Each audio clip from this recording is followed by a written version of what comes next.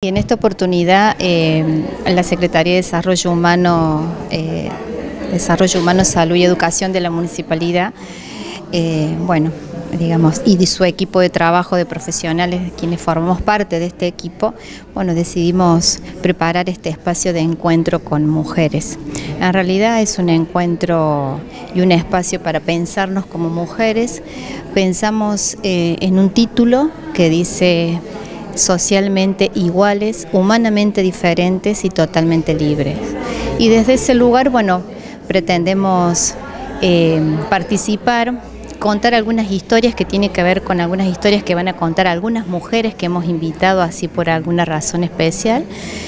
Eh, para que bueno, puedan dar un marco a este Día Internacional de la Mujer eh, en el trabajo que es a lo que hace referencia esta fecha. La idea es que más que una conferencia, que justamente por eso hablamos de un conversatorio, que podamos poner en, común este, algunas cuestiones, algunas preguntas y que desde ese lugar cada una pueda expresar lo, que piensa, lo que siente, lo, lo que vive, los desafíos que tiene como mujer, los que ha tenido y los que tiene en el día de hoy como mujer. Por eso son muy importantes estos espacios donde se propicia el encuentro y el poder hablar de las experiencias, porque en el expresar las experiencias las mujeres se empiezan a dar cuenta que les pasa lo mismo, sino que en diferentes contextos. Eh, y la idea es propiciar esos espacios y, de, expresión que muchas veces no siempre se dan socialmente o familiarmente. Y, bueno, y y ayudar desde este lugar, eh, si surgiera algún caso particular, hacer conocer al equipo de desarrollo social, de desarrollo humano y, salud, y, bueno, y ofrecer eh, herramientas para, para ayudar y para acompañar en esto y sobre todo eh, que queden exponer las distintas perspectivas de cada mujer, ¿no? Que son todas válidas, cada una desde su lugar y desde su experiencia. de eso se trata también, de intercambiar.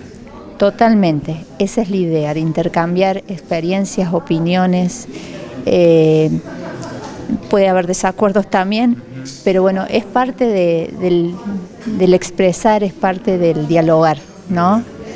Que, más allá de esta fecha puntual es interesante que esto tenga también una, una continuidad en realidad diariamente. Sí, en realidad es pensarnos como colectivo, porque en realidad la fecha está pensada no como como una cuestión romántica individual de la mujer, sino desde el colectivo de las mujeres, ¿no? Es decir, eh, eh, hay, han pasado, las mujeres han pasado y la historia lo muestra, hay muchas luchas detrás de, todo lo, lo, que se ha conseguido y muchas otras cosas por conseguir como colectivo. Entonces, bueno, nos parece importante siempre tener estos tiempos para, para pensarnos y para pensarnos en lo nuestro, en lo cotidiano, en lo que hacemos todos los días. Bien, bueno, estamos observando que van llegando mujeres, eso es también muy interesante, diferentes edades, de diferentes realidades.